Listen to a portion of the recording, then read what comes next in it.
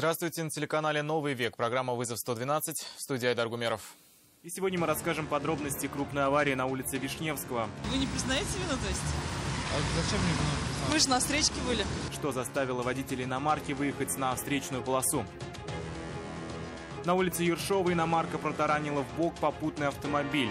Он повернул, а я ему как раз бок ударил. Как такое стало возможным? Тело пропавшей неделю назад 75-летней женщины найдено в колодце. Что по поиску нашлась?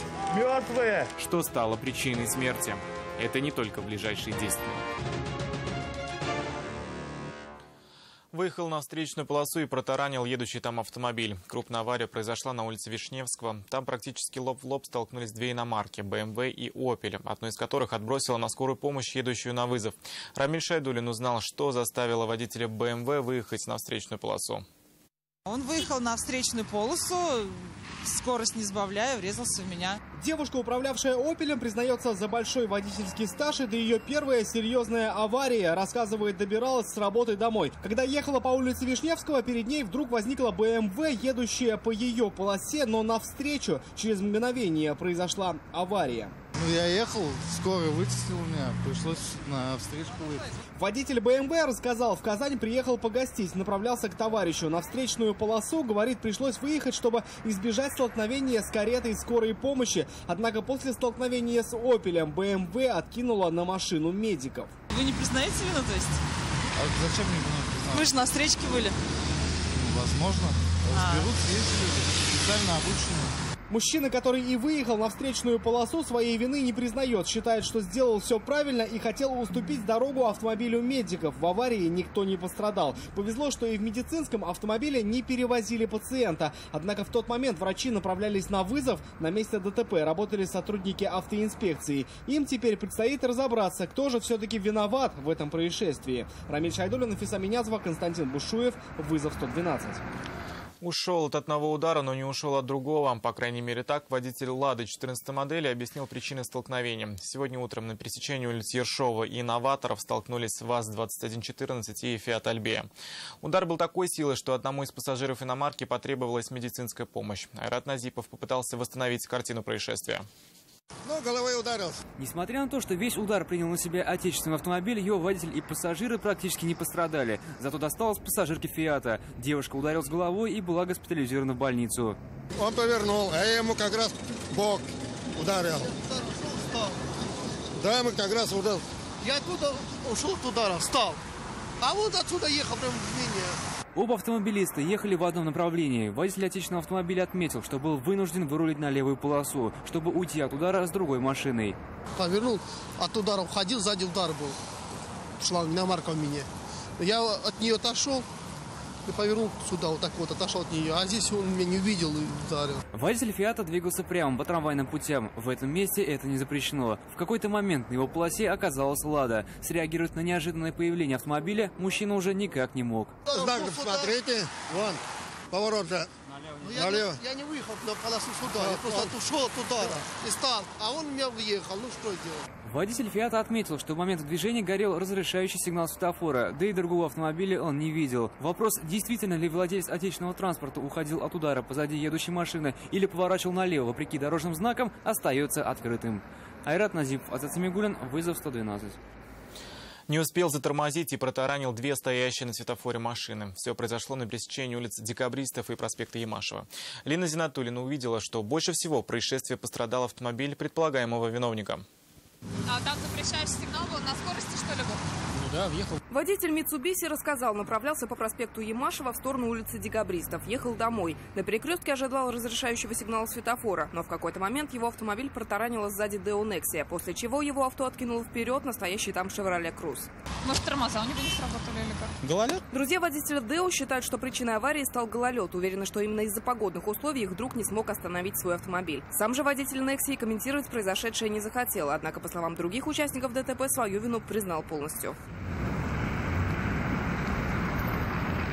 В результате столкновения сильнее всех пострадала машина предполагаемого виновника происшествия. Если сотрудниками автоинспекции вина мужчины будет доказана, ремонт остальных автомобилей будет доплачивать его страховая компания. Лина Изнатульна, Нафиса Минязова, Константин Бушуев, вызов 112.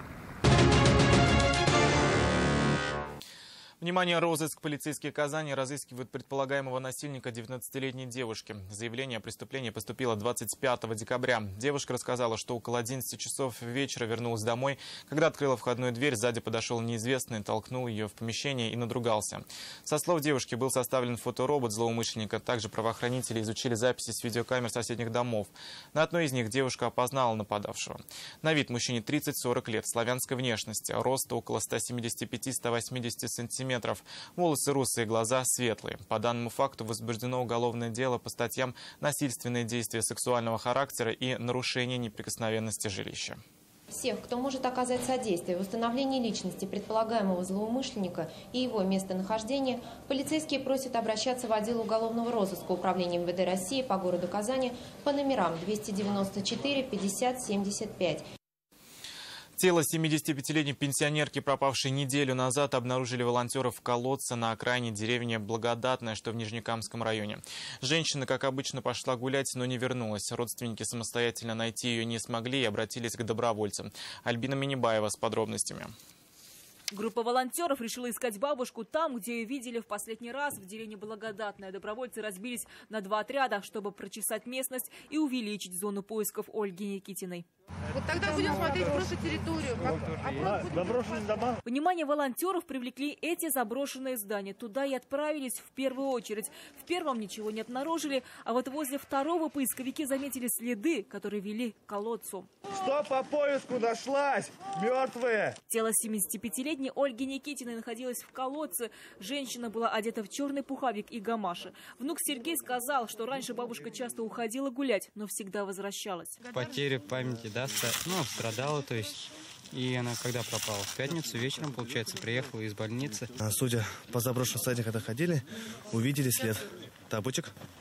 Как бы посмотрели. А, а, естественно, подошел по этим следам. Уже было обнаружено тело Ольги Никитиной. Недалеко от этого места волонтеры также обнаружили икону. Внук подтвердил, она принадлежала его бабушке. Ольга Никитина ушла из дома в минувшую пятницу. Родные сначала искали ее сами, думали вернется. Когда поняли, что сами не справятся, обратились к волонтерам.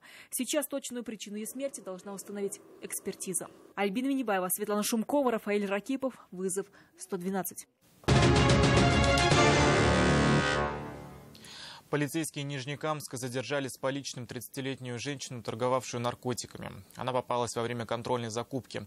У нее обнаружили 4 полимерных свертка с порошкообразным веществом и два шприца с жидкостью, которые она приготовила для продажи. Позже результаты экспертизы показали, что изъято является наркосодержащим веществом синтетического происхождения общей массой почти полграмма. Также выяснилось, подозреваемая ранее привлекалась к уголовной ответственности по статье «Кража». В этот раз в отношении нее возбуждено уголовное дело по признакам признаком преступления незаконное производство и избыт наркотиков. Сейчас сотрудники полиции устанавливают дополнительных участников преступной схемы. Остановили прохожих и изъяли полкилограмма наркотиков. В набережных Челнах полицейские задержали двух жителей Воронежской области. То, что шли они в автоград по трассе пешком, показалось полицейским странным, и они решили проверить мужчин. Последний сильно занервничал. Вскоре стало ясно, почему. Слават Махадулин продолжит. Наркотики, оружие, боеприпасы, взрывчатые вещества. Есть. Где? В сумке находится. Что есть? Конкретно указывайте, что есть у вас. Наркотические вещества. После задержания отпираться молодым людям не было уже никакого смысла. Они отказались от освидетельствования на предмет употребления наркотиков, но признались, что являются закладчиками и достали наркотики из тайника для последующей фасовки и бесконтактного сбыта на территории Автограда ходе личного досмотра у одного из задержанных полицейские изъяли поясную сумку, в которой находились пять полимерных пакетов. Как пояснил молодой человек, в двух из них гашиш общей массой почти 300 граммов, в трех других пакетах мефедрон общей массой более 200 граммов. Общий вес изъятых веществ составил полкилограмма. Все пакеты отправлены на экспертизу. Следственным управлением УМВД России по набережным Челнам в отношении молодых людей возбуждено уголовное дело по части 3 статьи 30 и части 4 статьи 228.1 Уголовного кодекса России. Это покушение на незаконный избыт наркотических средств, психотропных веществ или их аналогов в крупном размере. Сейчас решается вопрос об избрании меры пресечения задержанным. Слава Тухмадулина, Рад Назипов, ВЗ 112. И это все, о чем мы успели вам рассказать. В студии был Айдар Гумеров. До встречи. И не бросайте вызов судьбе. Вдруг она его примет.